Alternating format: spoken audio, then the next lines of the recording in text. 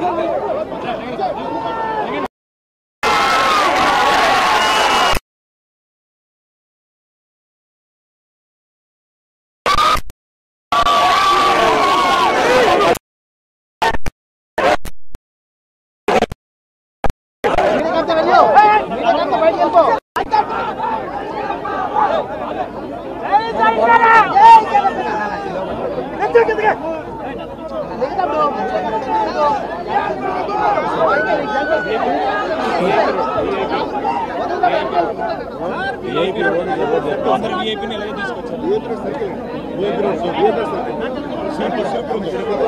మనం అక్కడికి వెళ్ళి యూటర్న్ చేసుకొస్తాం.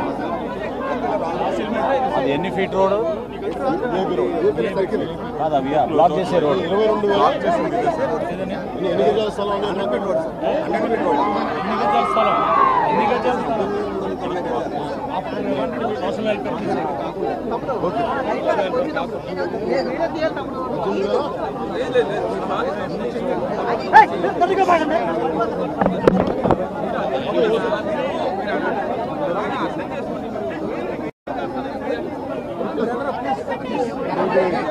హృదయపూర్వక నమస్కారాలు. ఇది గత కొద్ది రోజులుగా చాలా దేశం అంతా కదిలించిన సంఘటన ఇది.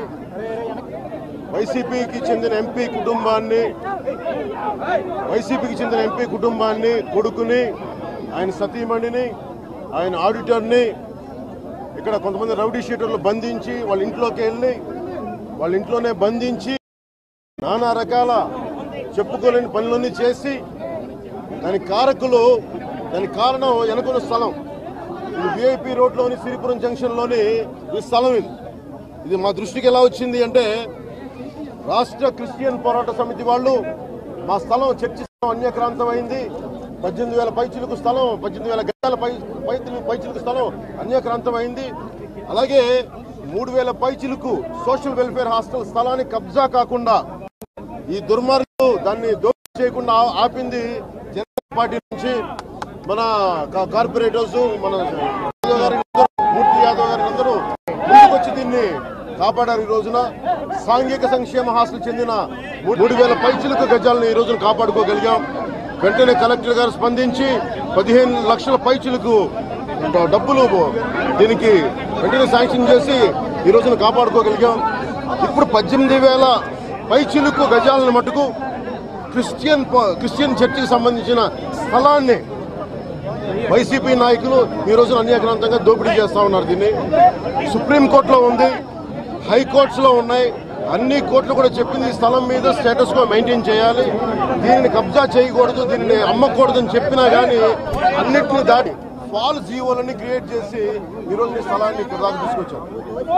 కాగలేదు ఈ వైసీపీ ప్రభుత్వానికి జగన్ ప్రభుత్వానికి దేవాలయ స్థలాలు కాదు మసీదు స్థలాలు కాదు చర్చి స్థలాలు కాదు ఏ స్థలమైనా సరే దీనికి ఏ స్థలమైనా సరే దాన్ని మనం కబ్జా పెట్టేయాలని కబ్జా పెట్టేస్తున్నాను పెద్ద తర్కాణం ఇది. దీనిని మట్టుకు జనసేన అందరూ విశాఖ ప్రజలకు కూడా విశాఖ ప్రజలకు కూడా నా విన్నపం కూడా ఏంటంటే ఇది చాలా ప్రశాంతమైన నగరం ఇది. చాలా ప్రశాంతమైన నగరం ఇది. ఈ ప్రశాంతతని వైసీపీ నాయకులు చెడగొట్టేస్తున్నారు. ముఖ్యంగా ఇలాగే హైదరాబాద్ కూడా తెలంగాణలో కూడా ఇలాగే దోపిడీ చేశారు వీళ్ళు. ఈ వర్గం వర్గం ఇలాగే దోపిడీ చేస్తేనే తన్ని తగలేశారు తెలంగాణ నుంచి. ఈరోజు ఉత్తరాంధ్ర ఆస్తుల్ని అడ్డగోలుగా దోపిడీ చేయడం అంటే మన తార్కాణం ఇది ఈ స్థలాలు. క్రిస్టియన్ స్థలాలు చర్చి స్థలాలు కానీ దేవాలయ స్థలాలు కానీ ఎవరైనా సరే సింహాచలం భూములు కానీ ఏదైనా సరే ఇలా అడ్డగోలుగా దోపిడీ చేస్తూ ఉన్నారు. ఇదే దోపిడీ కనుక అయితే ఈరోజు మొత్తం ఉత్తరాంధ్ర డంపింగ్ యార్డ్ లాగా అయిపోద్ది. స్థలాలన్నీ బయట వాళ్ళకి వెళ్ళిపోతుంది మీరు ఆలోచించుకోవాలి ప్రజలందరూ కూడా ఆలోచించుకోవాలి దీన్ని. ఇది యువతకు కూడా విశాఖ ఉత్తరాంధ్ర యువత కూడా ఇది ప్రత్యేకించి మీరు దృష్టి పెట్టాలి దీని మీద. అలాగే ఆంధ్ర యూనివర్సిటీలో విద్యార్థులు కూడా దీని మీద ప్రత్యేక దృష్టి పెట్టాలి. మీరు ఉస్మానియా విద్యార్థులు ఎలా తెలంగాణ కోసం అయితే నిలబడ్డారో ఆంధ్ర కోసం ఉత్తరాంధ్ర కోసం ఉస్మానియా విద్యార్థులు కూడా నిలబడాలి. దయచేసి దీన్ని వైసీపీ పార్టీకి దానిని ఒక అడ్డాలాగా చేయగల మనకు ఆంధ్ర యూనివర్సిటీని ఖచ్చితంగా దాన్ని ఎదుర్కొంటాం. పరిస్థితులు మారుస్తాం. సార్ సార్ జనసేన నుంచి మీ స్టాండ్ ఏం సార్? జనసేన నుంచి ఏం చేయబోతున్నారు సార్? జనసేన నుంచి ఏం చేయబోతున్నారు సార్? ఇప్పుడు రెండు వేల నలభై ఏడులో రావాల్సిన దానికి ఈ టీడీఆర్ బాండ్స్ ఇప్పుడే తీసేస్తున్నారు దీంట్లో అరవై ఎనిమిది కోట్లు వాళ్ళకి ముందుగా వెళ్ళిపోయింది. రెండు వేల నలభై ఏడులో జరిగే జరగాల్సిన దానికి. ఇదే ఇక్కడ కా ప్రత్యేకించి మనకి వైజాగ్లో మిగతా వాడికి టీడీఆర్ బాండ్స్ రావాలంటే తణుకులో జరిగిన ఈ టీడీఆర్ బాండ్ స్కామ్ అక్కడ జరిగితే దానికి దాని పర్యావసానం ఇక్కడ ఉంది. కానీ ఇంత జరిగితే అందరికీ ఆపారు కానీ ఎవరైతే మనకి పద్ధతిగా ఉంటారో ఎవరైతే వితిన్ ద చట్టానికి లోబడి టీడీఆర్ బాండ్స్ ఇవ్వాలి వాళ్ళకి ఆప్ చేసి చట్టాలను అతిక్రమించిన వాళ్ళకి టీడీఆర్ బాండ్స్ అరవై ఎనిమిది కోట్ల రూపాయలు వాళ్ళకి ఇచ్చేసారు ఎట్టి పట్టిన అడ్డగోలుగా దోపిడీ చేస్తా ఉన్నారు. ఈ ఎంపీ కూడా సిగ్గు లేకుండా ఇంట్లో భార్యని బిడ్డని మొత్తం ఆడిటర్ని కూడా దో కూర్చొని నుంచోబెడితే అడ్డగోలుగా ఇస్తే సిగ్గు లేకుండా కూర్చొని మా పార్టీ వాళ్ళు చేసింది అంటాడు అసలు అయినా ఎంపీ కూడా మీరు నిర్ణయించుకోవాల్సింది ఎంపీ అనే వాడికి సంబంధం ఏంటి? నీకు ప్రజలు నీకు అడ్డుకో నీకు అండగా ఉన్నారు. ప్రజలు నీకు ఓట్లేశారు నీకు. ప్రజలు నీకు ఓట్లేశారు. ప్రజలు ఓట్లేస్తే నువ్వు కూర్చోబెట్టి నీ నీ వ్యాపారం బాగాలేకపోతే వదిలిపోతానంటావేంటి బాధ్యత. నీ బాధ్యత. పారిపోతానంటావండి ఇక్కడి నుంచి. అలాంటప్పుడు నువ్వు ఎంపీ ఎందుకు అయ్యావు ఇక్కడ? ఓట్లు ఎందుకు ఎంచుకున్నావు ఇక్కడ? ఎందుకు ఎంచుకున్నావు ఓట్లు? ఎందుకు ఇక్కడి నుంచి? రిజైన్ చేయి. తిరిగి ఎలక్షన్లు పెడతాం. తిరిగి ఎలక్షన్లు పెడతాం. అడ్డగోలుగా ప్రైవేట్ వ్యాపారాలు మీకు ఎంపీలకు ఇచ్చింది మీకు? సిగ్గుండాలి ఎంపీకి. జగన్ కూడా చెప్తున్నాను జగన్ నువ్వు ఏదైతే అక్రమాలు చేసావో ఏదైతే ఉత్తరాంధ్రాన్ని దోపిడీ చేస్తున్నావో ఏదైతే అన్యాక్రాంతంగా స్థలాలు అంటే నువ్వు కబ్జా కబ్జా పెడుతున్నావో అన్నిటినీ బయటకు తీసుకొస్తాం. రేపొద్దున నీ మీద కొత్త ప్రభుత్వం మారిన వెంటనే నేను కోర్టు చుట్టూ తిరగాలి గుర్తుపెట్టుకో. ఇదే మీకు నీకు హెచ్చరిక నీకు. ప్రజలందరూ కూడా ముఖ్యంగా మీడియా వారికి కూడా నా విన్నపం దయచేసి ఇలాంటి అక్రమాలని ఇలాంటి అక్రమాలను బయటకు తీసుకొచ్చినందుకు మీ అందరికీ పేరు పేరు ధన్యవాదాలు తెలుపుకుంటూ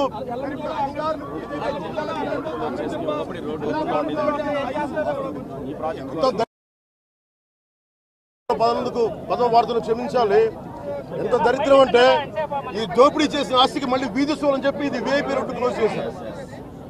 వీధి సోల్ మీ కర్మ బాగలేనప్పుడు మీరు అడ్డగోలుగా దోపిడీ చేస్తారు మీకు ఏ వస్తువు బాగుండదు. జనసేన ప్రజలు విశాఖ ప్రజలు ఉన్నారు. మీకు ఉన్నంతకాలం మీ జీవితాలు కానీ మీ మీ నుదుటిరాత్రులు కానీ బాగుండవు. ఎందుకంటే మీరు చేసే అడ్డగోలైన దోపిడీకి మేము ఉంటాం. అదే మీకు మీరు చూడండి వీధి సూలు అంట దీనికి. స్థలానికి వీధి సూలు అండి.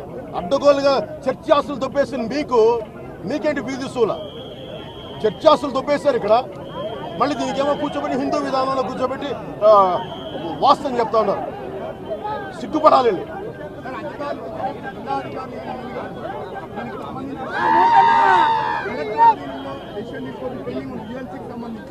అలాగే జిల్లా కోర్టులో కేసు హైకోర్టులో సుప్రీం కోర్టులో